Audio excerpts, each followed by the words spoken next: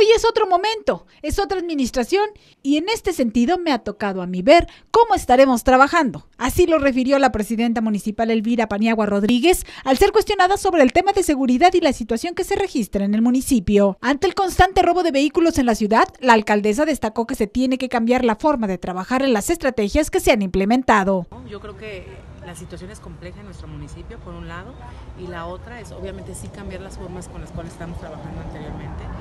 Hoy es otro momento, Hoy es otro momento, es otra administración y en ese sentido me tocará a mí ya ver cómo, cómo estamos trabajando. ¿Le ha dado plazos al secretario para ver resultados? Porque este delito en particular de robo de vehículo con violencia, mano armada, no debe, de, no debe de estar sucediendo. No solamente es aquí, desafortunadamente, pero a mí me toca estar aquí al pendiente y al secretario le toca estar aquí al pendiente. Me doy cuenta de todo lo que pasa en la región también. ¿Y hay plazos para que dé resultados? Obviamente, obviamente, todos vamos a tener plazos aquí. Si me lo permiten, dijo, dijo el gobernador Diego Sinué, no, pues aquí nadie tenemos el trabajo de manera eterna, hay que estar dando resultados. A mí me están revisando, a mí me están evaluando ustedes también.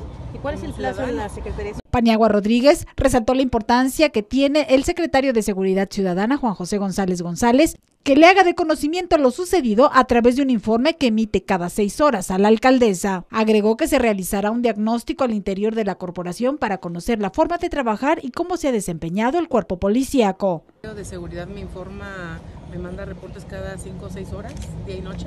Es que sí me entero de las situaciones que están pasando.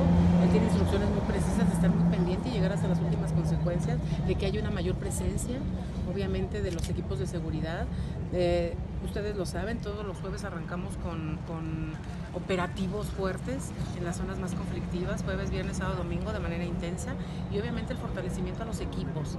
Ahorita también solicité se realice un diagnóstico al propio interior de la propia corporación para ver qué es lo que vamos a estar trabajando ya como estrategias. Con información de Karen Delgado, para Vía Noticias, América Ortiz.